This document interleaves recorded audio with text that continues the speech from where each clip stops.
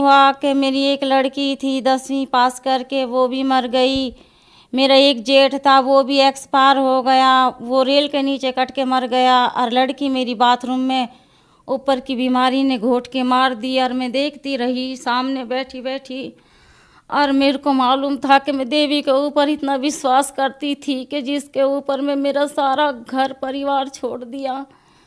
और मैंने देखा कि मेरी बेटी के साथ में उसने पकड़ के और गला घोट दिया और मैं गेट से बाहर बैठी बैठी देखती लड़की जाने के बाद में दूसरी लड़की अब मेरी बारहवीं में है वो लड़की भी मेरी वही बात बोलने लगी जो लड़की मेरी बड़ी वाली बोल बड़ी वाली लड़की मेरी बोलती थी मम्मी आप टेंशन मत करना मैं मरूँगी। मैंने कहा नहीं बेटा ऐसे नहीं बोले करते। नमस्कार जी। नमस्कार जी सर। क्या नाम है आपका? जी तारा। आप कहाँ से आए हैं? अलवर साठ फुट रोड। संत रामपाल जी महाराज जी से आपने नाम दीक्षा कब ली? 2015 में ली थी दसवां महीना 11 तारीख थी।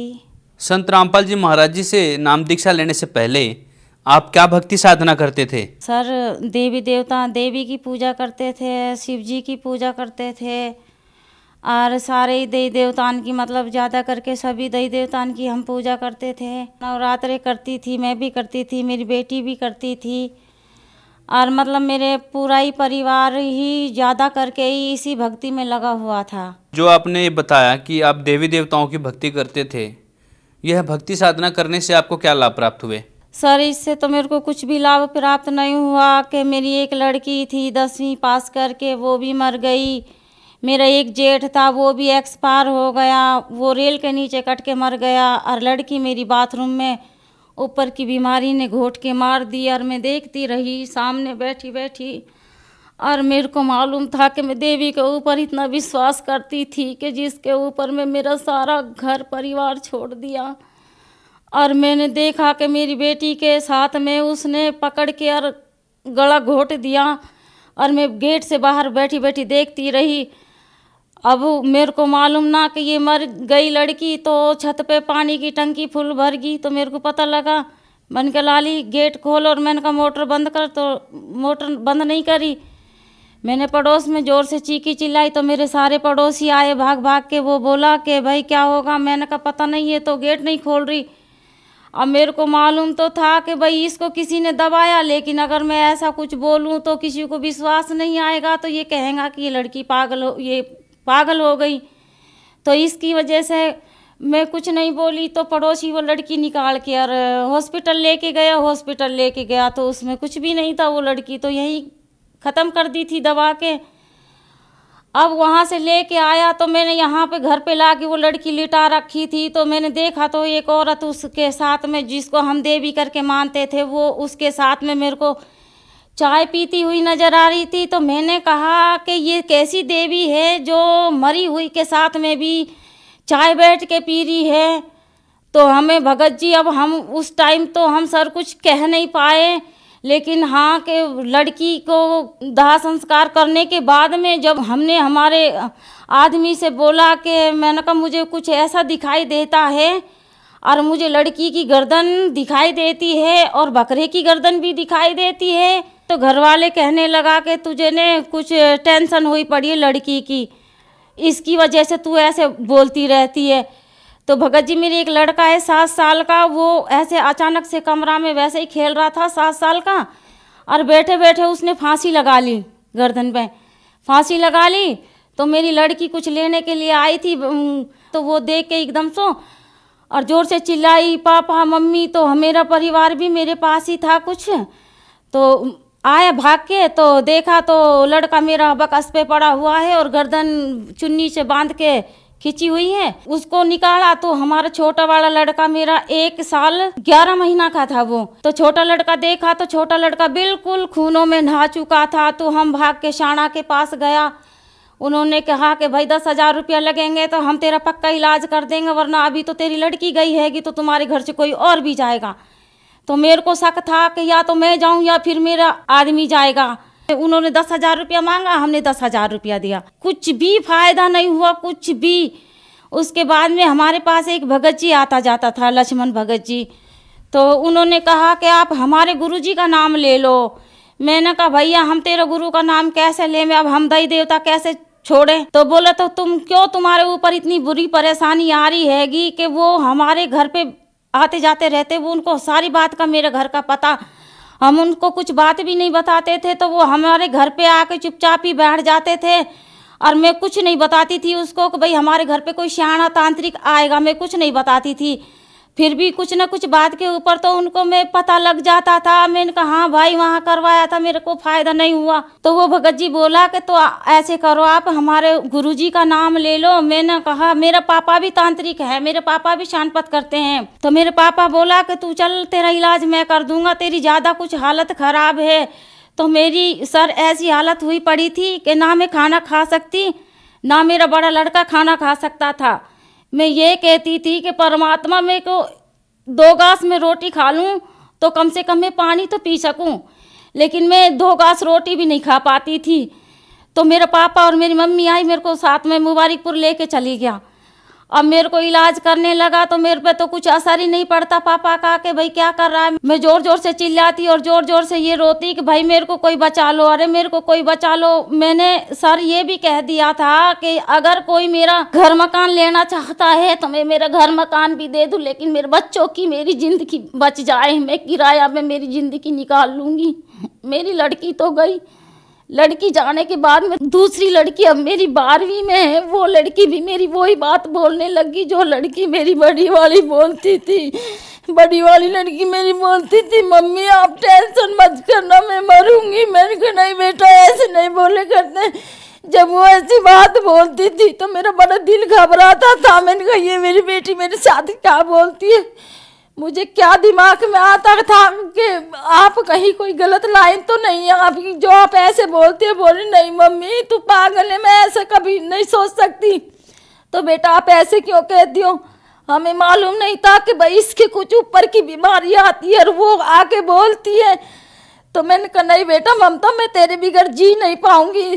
तो वो कहने लगी, मम्मी, एक साल नहीं जी होगी, दो साल नहीं ठीक होगी, तीसरी साल में अपने आप ठीक हो जाओगा। एक साल मुझे कोई ना मिला, दूसरी साल में मुझे संत राम पाल के चर्चे मिले। तो मैंने ना पानी पिया, ना मैंने खाना खाया, मैंने लक्ष्मण को बुला के बोली, भगत जी, मेरा तो कोई पता नहीं कि मैं बचूं कि ना बचूं, लेकिन मेरा बच्चा तो है।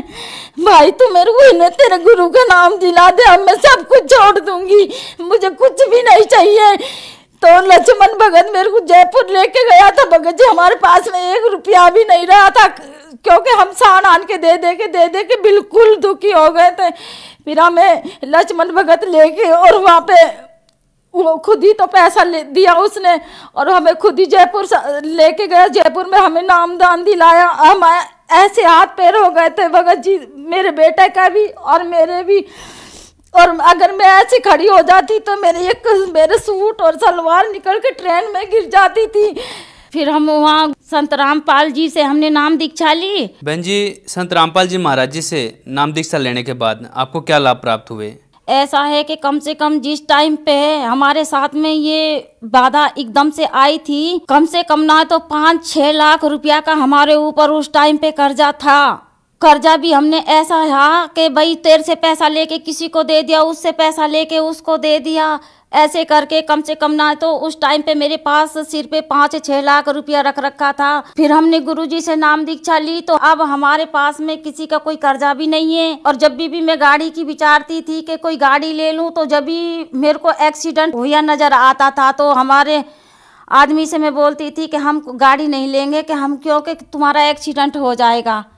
और अब हमने यही महीना में छह तारीख को गाड़ी निकलवाई है। संत रामपाल जी से इजाज़त लेके तो अब हमें कुछ भी परेशानी नहीं है। अब हम एकदम ठीक हैं। खूब मेरे अच्छे बच, बच्चों को चाहे मैं कुछ भी खिलाऊं कुछ भी पिलाऊं मेरे बच्चों को कुछ भी नहीं होता है। अब ठीक ठाक रहते हैं। मेरी लड़की भी ठीक रहती है। मैं भी ठीक रहती हूँ। और हमारे आदमी के तीन गैठ थी पेट में और वो गैठ भी नहीं है। वो भी अब मेरा बच्चा खूब ठीक रहते हैं, कहीं पे भी दूध पियो, कहीं पे भी कुछ भी सफ़ेद चीज़ खाओ, पहले कभी मैं भी सफ़ेद चीज़ कभी कोई खा ना पाती थी। ना मेरे बच्चे को खिला पाती, अब मेरे बच्चान को चाहे कहीं पे आओ, कहीं जाओ, अब हमें कोई परेशानी नहीं है। अब मेरी लड़की भी मेरी अब बारहवीं में है, कोई परेशानी नहीं है, मेरी लड़की भी अब ठीक है। अगर कोई ये कहे, मेरे पीर वाला ये कहते हैं कि तूने कहाँ से नाम ले लिया, ये तूने सब कुछ छोड़ दिया तो अगर हमारे कोई कुछ भी बोले तो भी हम ये परमात्मा को नहीं छोड़ सकते। हमें तो संत रामपाल जी हमारे परमात्मा हैं हमें जीवन दान दे दिया तो हमारे तो ये परमात्मा है, हमारे ये भगवान है। संत रामपाल महाराज जी, इनसे जब से हमने नाम दीक्षा ली हैगी, जब से हमें कोई टेंशन नहीं है। बहन जी, आपके गुरु जी अभी जेल में हैं। जेल में होते हुए भी आपकी, उनके प्रति कैसी आस्था है? अगर परमात्मा जेल नहीं जाता तो हमें ये बिल्कुल भी एहसास नहीं होता। हमारे संत रामपाल गुरुजी में भी कुछ शक्ति है। गुरुजी, हमारा जेल नहीं जाता तो हम ये समझता कि क्या पता कोई जादू मंत्र तो नहीं कर दिया इसने हमारे ऊपर। अब हमें विश्वास तो इसीलिए दृढ़ हुआ है कि भाई परमात्मा तो जेल में है। हमें ना तो परमात्मा ने आशीर्वाद दिया, ना ही हमने परमात्मा को देखा है और परमात्मा ने जेल में बैठे बैठे ने हमारी ये परेशानी काट के पटक दी तो हम कैसे मान जाए कि भाई परमात्मा हमारा जेल में है परमात्मा तो हमारे पास में है। लेकिन फिर भी परमात्मा बाप से मिलने की इच्छा तो सभी को ही रखता है। हमें याद तो खूब आए कि भाई हम हमारे परमात्मा से मिले, हमारे गुरुजी से मिले, लेकिन क्या करें, उनको तो अंदर डाल रखा है। ये परमात्मा ने जो हमें ये मंत्र दिया है, जो हमें ये भक्ति बताई है कि हाँ सारे दुख कट जाते हैं इससे और फिर कुछ भी ज़्यादा नहीं आती है, ना कोई भूत, परेत और सबसे बड़ी जो हमें परमात्मा यही हमें इतना सुख दे रहा है तो हमारा जीवन मरण का भी दुख कट जाए। जीवन मरण से चौरासी में ना घूमे, हम चौरासी में ना भटके। हमें पूरा विश्वास है कि हमारा मोक्ष होगा। जब पृथ्वी पे कोई ऐसा तांत्रिक हमें नहीं मिला, कोई ऐसा हमें भगवान नहीं मिला कि जो हमारी बीमारी काट सके, आज बीस बीस साल से हम कभी नींद भर के सो ना पाए और जब से हमने रामपाल संत का नाम लिया है। जब से हम आराम से सोते हैं तो हमारा मोक्ष तो अपने आप ही हुआ पड़ा है कि क्यों हमें बीस बीस साल होगी कि हम सो ना पाता था।